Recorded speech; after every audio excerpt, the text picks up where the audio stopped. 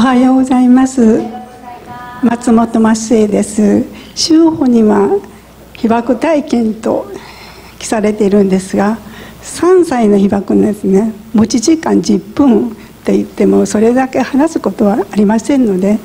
被爆から生かされて現代までに至った神の恵みを明かしさせていただきます。私は3歳の時に爆心地から3キロメートルのエヴァで被爆しました。当時父が戦死しておりました。そして母の実家の兄夫には子供がいなかったので私はゆくゆくはそこの養女になるのが決まっていたそうです。母の実家は爆心地から500メートルにありましたので全滅です。そして私は母の実家によく泊まりに行っておりました。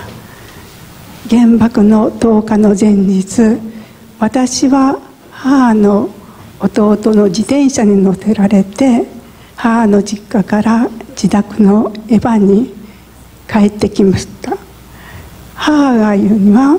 その時夕方遅かったのです。その弟に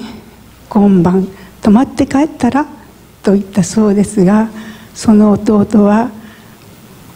兄嫁さんに何も言わないで来たから帰ると言って帰ったそうです。これが姉と弟のこの世の別れになりました。あの原爆10日時私たちは茶の間で朝食をとっていました。先ほどまでいた部屋は原爆の惨事によって窓ガラスは割れタンスは倒れ天井は落ち壁が崩れてしまいました。私たちがいる茶の間ではそのようなことはありませんでしたので家族全員怪我一つしませんでした。それで壁がちょうど落ちて人が一人入れることのできる穴が開きましたので家族みんな外に入れて隣がいちじく畑でしたのでそこで1週間野宿しました。母は実家のことが気になるので私と弟を乳母車に乗せて実家に向かいましたそうですが途中瓦礫や死体がたくさんあって乳母車を押すこともままならなかったそうですが兵隊さんに助けられてやっとたどり着いたということです。そこには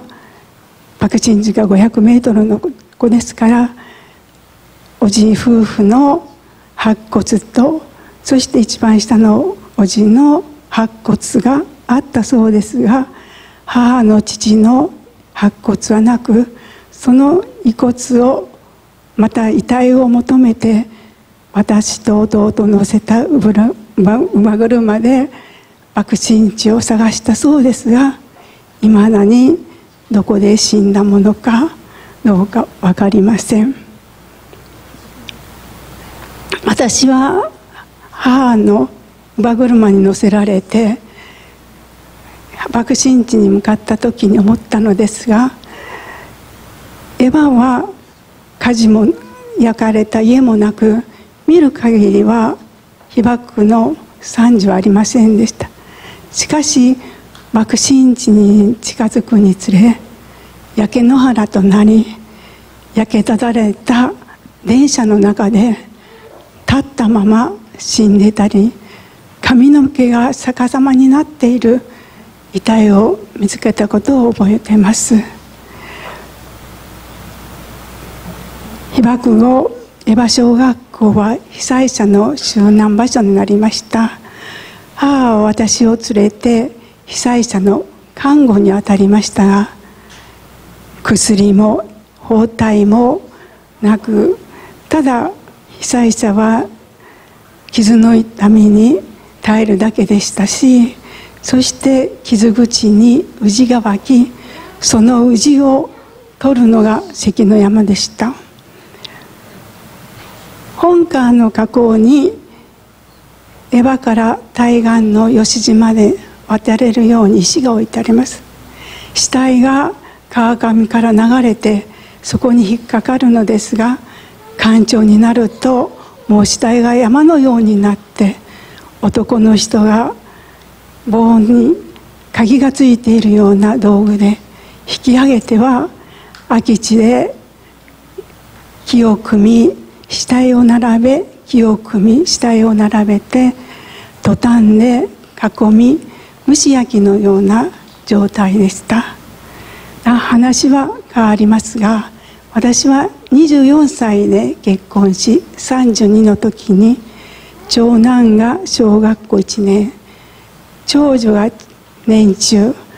次男が1歳4ヶ月の子を残し夫は交通事故でなりまし亡くなりました。その時私は専業主婦だったので生活の糧にと思いほぼ保育士になろうと思って保護資格を取得しました。しかし保育士にはならず高校の恩師が小学校の給食調理員は公務員だし残業もないし夏休み春休み冬休みと休めて子供に育てるのにはいい仕事だがねということで小学校の給食調理員となって3人の子供を育てました。夫が亡くなって親類の人たちはわずか小学校1年生の長男に「あんた長男だからしっかりしなきゃダメよ」ってよく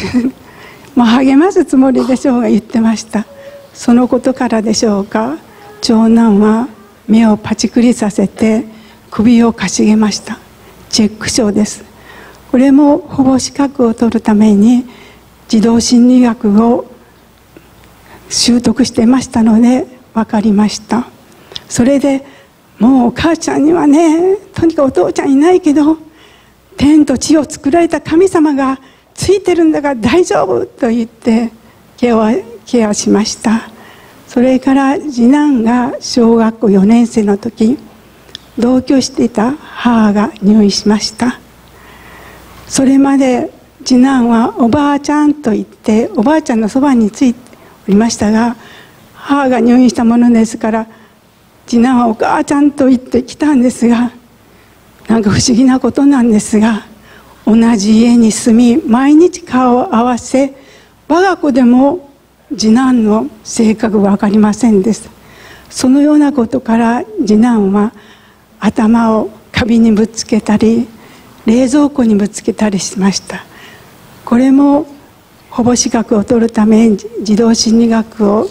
習っていましたものですからスキンシップが足りないなと思って勤めから帰り次男を膝の上に乗せて「今日一日何があったの？どうなの?」と言って聞きます。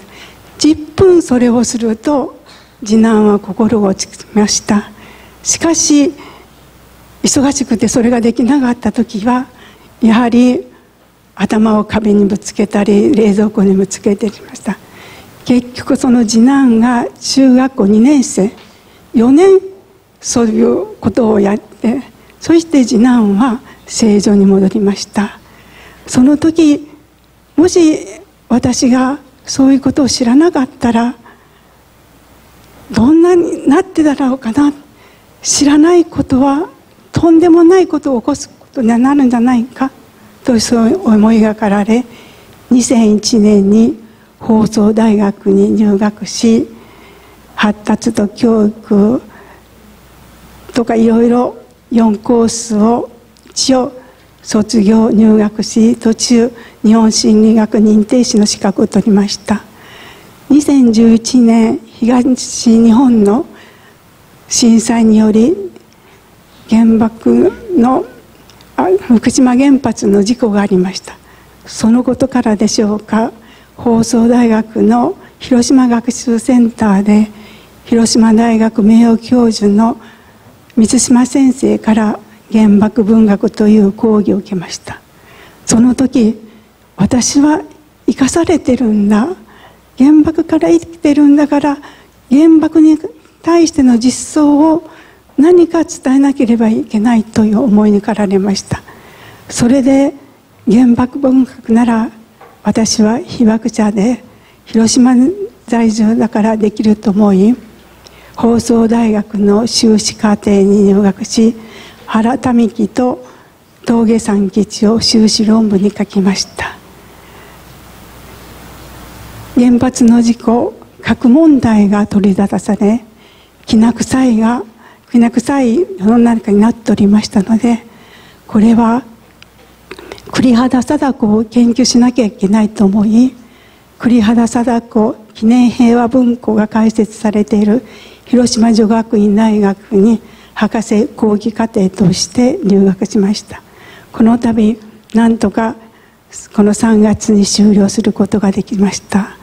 今私は77歳です体力的も記憶力も衰えて集中力は長続きしません。パソコンは苦手で誤字脱字変換ミスが多い。若い人に比べたら何倍も時間がかかりますけどもでも終了できたいうことは先生方の助けと多くの人の祈りと神の憐れみがあったことと思います。これで私の証を終わります。ありがとうございました。